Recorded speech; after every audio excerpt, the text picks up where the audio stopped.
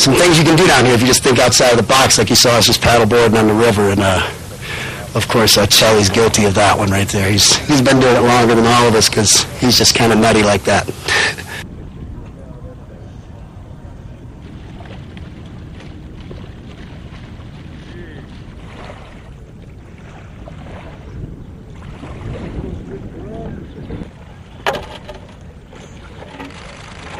That's going to the water with my boy.